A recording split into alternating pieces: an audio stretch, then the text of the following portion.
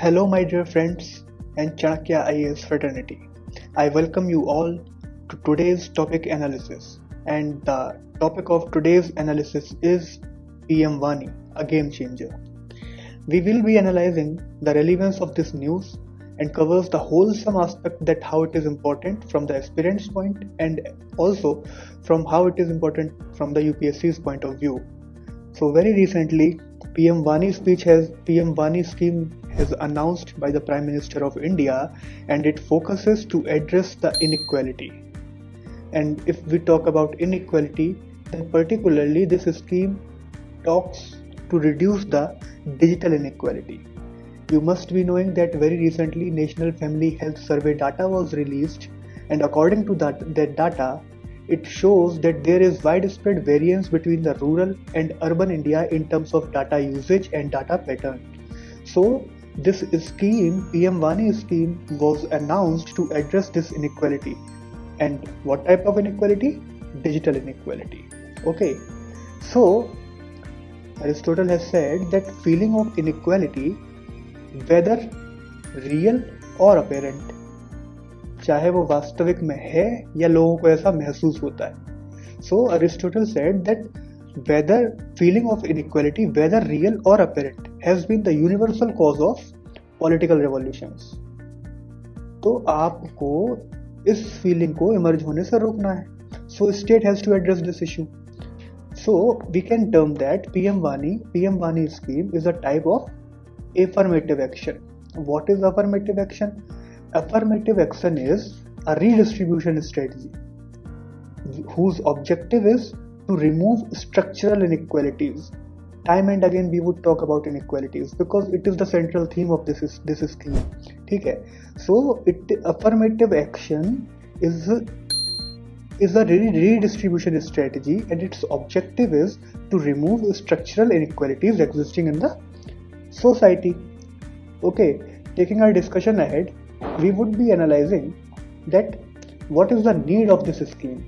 At least कोई scheme अगर government ने इंट्रोड्यूस की है तो उसकी कुछ ना कुछ आवश्यकता तो ही होगी, तभी उसको इंट्रोड्यूस किया गया है। Otherwise there are already many such programmes like Bharat net digital India है ना? Many more like this so we will be analysing that what is the need of scheme what is the need of P M वाली scheme okay so in a bid to fuel broadband internet proliferation across the country the government and the government of india has launched the pm WANI scheme. Okay very simple. And this scheme would be enabler for the digital india. How it would be enabler for the digital india? Because it will boost incomes as well as it will be ensuring that youth will get seamless internet connectivity. Because there is problem of data penetration in the rural india. So this scheme would enable small shopkeepers to provide wi-fi service. So in a way we can say that this scheme would enable the digital india. Okay. And digital india program is centered on three key visions. Uh, what are those three key visions? Digital infrastructure okay governance and services on demand and digital empowerment of citizens. So this pm WANI scheme will also lead to digital empowerment and this scheme was introduced to bridge the digital divide because there was a rapid scale of scale up of internet in rural india. And uh, earlier a data was revealed that shows that given the low level of penetration 27.57 subscribers per 100 population in 2019 in rural india this is the extent of internet penetration. Okay. matlab out of 100 pupils only 30 people are using internet. Pm vani scheme is a cost effective way of digital, digital expansion. This scheme is a cost effective way of digital expansion because you must have listened this news that 5g is going to come in india.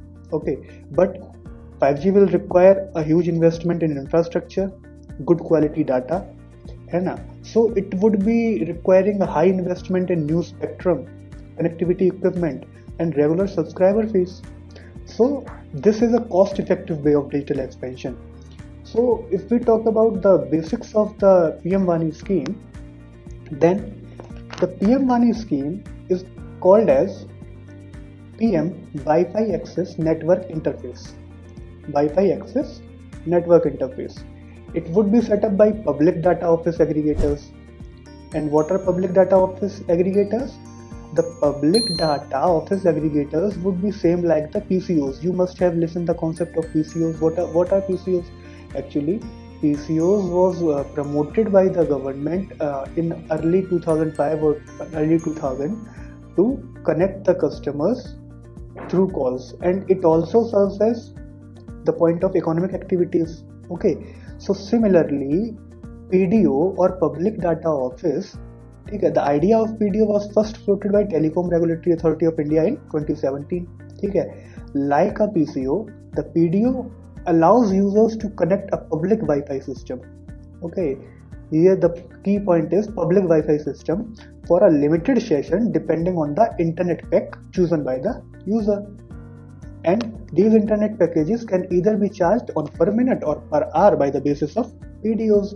PCO में क्या होता था? भाई, आप PCO में call करने जब जाते थे तो वहाँ पे चार्जेस फिक्स रहते थे कि आप एक मिनट एक मिनट बात करेंगे तो मान के चलिए दो रुपये आपका लगेगा या जो भी है, और आप एक घंटे बात करते यहाँ पे भी पीडीओज में भी इंटरनेट यूजेज के रेट फिक्स रहेंगे, जिसके थ्रू आप अपने अकॉर्डिंगली उस पैक को एक्सेस कर सकते हैं।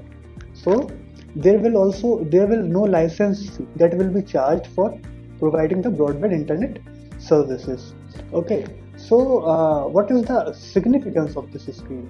Anna? and what is the vision behind building such solutions in digital age? We all know that uh, 21st century is digital digital age. So there must be some vision behind such solutions na? So what is the vision behind this pm1 scheme? Okay. So uh, vision behind such solutions we can say that this scheme is built for a billion. Uh, if we took the example of Aadhaar, what Aadhaar has done, what UPI has done, and UPI has created common payments infrastructure that unbundled whose app you used to pay, from which bank your money was in, and it doesn't matter. You just have to use one app that is UPI, BHIM UPI or any other UPI. You just don't have to uh, install a number of applications in your phone. So this resulted in three C's what are those three C's? Greater convenience, higher confidence, and lower costs. Okay, in the same way, PM unbundles whose wired connection you use from who you pay to use that connection. Okay, you just have to you just have to connect PDO. You just have to connect to the PDO. Okay, so this will interoperate and focus and focus on connecting the last user so it is talking somehow about last mile connectivity and it is built on unbundling three a's earlier we talk about three c's and now the pm WANI has talked about three a's. What are those three a's? Access authorization and accounting. So pm WANI allows anyone anyone either he be a kirana shop owner e-stall vendor or a common service center to resell internet to its customer without a license and without fees. Okay. So he just have to install a wireless router and they can get on the pm WANI network and start selling the connectivity and these small vendors who uh, these small vendors like kirana shop owner tea small vendor they will be called as public data offices okay? So like pcos became centers of economic activity that provides a small business with a steady trickle of clients that could become then sell other sachet like products okay? So due to this regulation deregulation they the distribution of endpoints of PM WANI will be selected by entrepreneurs rather than being decided by top down. So PM WANI speech, uh, PM WANI scheme is somehow talking about bottom up approach, not top down approach so bottom up approach would be like that community will solve its problem by itself and it will not require any regulatory authority so taking the discussion ahead we would be talking about the objectives and benefits of pm WANI scheme. Okay so pm WANI scheme would introduce more business friendly environment and that will result into ease of doing business. Second it can be says that that it aims to provide high speed internet okay which actually becomes a need after the covid-19 pandemic as the work from home culture is increasing frequently the third objective or benefit can be said that uh, high speed internet is not accessible in areas that do not have a 4g mobile coverage areas like uh, hilly terrain or uh, rural areas uh, tribal areas. These these areas are not accessible in terms of data connectivity. So pm WANI aims to aid the deployment of a public wi-fi network service. Okay and the proliferation of public wi-fi network will also create employment. So this scheme will also lead to somehow creation of the employment. Okay. So uh, enhancement of disposable income is also expected in the hands of small and medium businessmen. As kirana shop owner or tea stall vendors they will be becoming the pdos public data offices. So it will also provide some disposable incomes in their hands. So it will result into the increase in gdp somehow na okay and sixth using public wi-fi hotspots would encourage its penetration across the country uh, you won't believe that as per TRAI, in various economies, mobile users use Wi-Fi technology to communicate for 50 to 70% of their net time. But in India, this figure is less than 20%. Why is it so? Because in 2018, the various service providers stated that they aimed to provide 5 lakh hotspots by March 31, 2019 and 10 lakh hotspots by September 30, 2019 and these targets are yet to be achieved. So the step of the uh, PM WANI for introducing free Wi-Fi is commendable and it is expected to increase the number of hotspots. So in essence, you can say that the introduction of PM WANI scheme is somehow a very revolutionary step that was that is introduced by the government. So what is the significance of this scheme? If we talk about the significance of this scheme, we can say that by this scheme, India can create a one trillion dollar of economic value using digital technology only. Because uh, earlier, the future of work report, future of work report was uh, published by World Economic Forum, in which it said that the number of uh, digital technology and the number of uh, digital users will be rising hugely by 2025. So by introducing this scheme, India can create $1 trillion of economic value by 2025 okay. And with pm WANI anyone living in their house either a pawn shop owner or a tea seller can provide public wi-fi hotspots. Okay. And certainly this project focus is on last mile delivery. Anna. So the project would mean the ability to connect to a wi-fi broadband connection almost anywhere and at any time.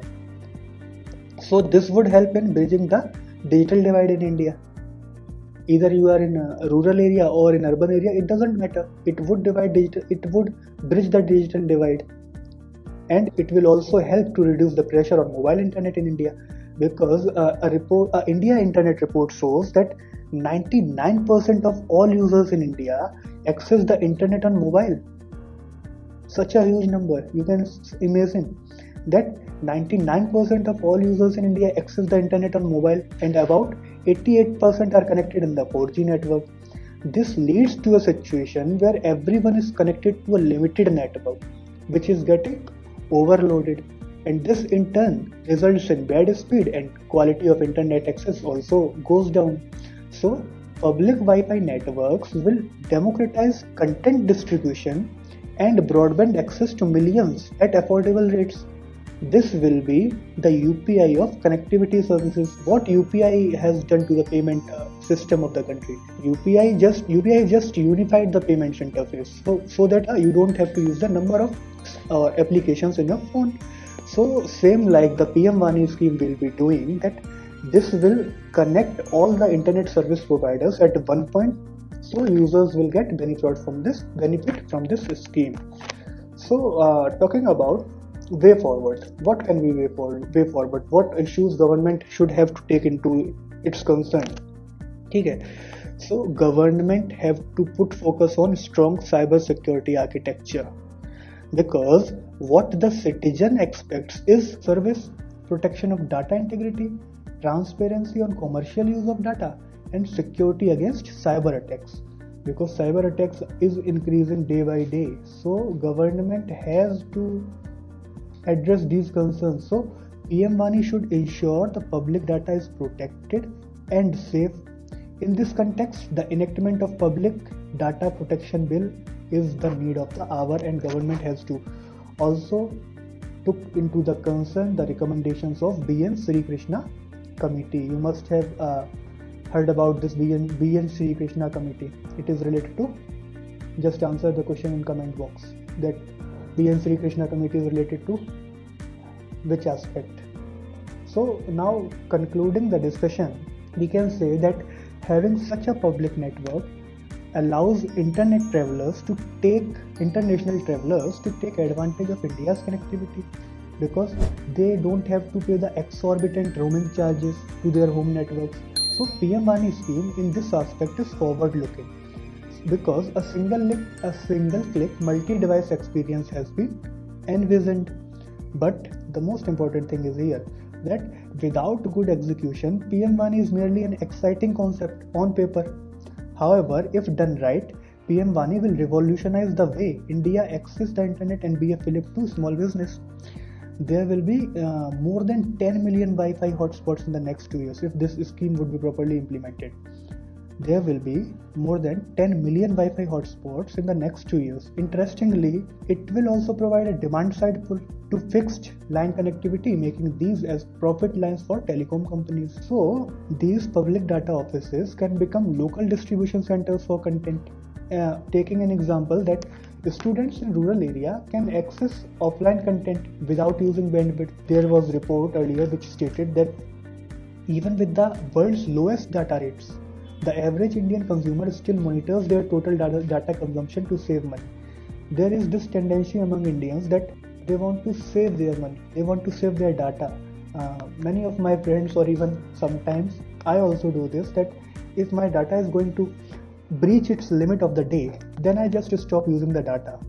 So this is uh, certainly an issue that even with the world's lowest data rate, we are towards a tendency of consumption consumption to save money and save data. So if executed properly, the public data offices of PM WANI can do what the PCOs did for phone calls, going well beyond ease of doing business to genuinely empower citizens and providing ease of living.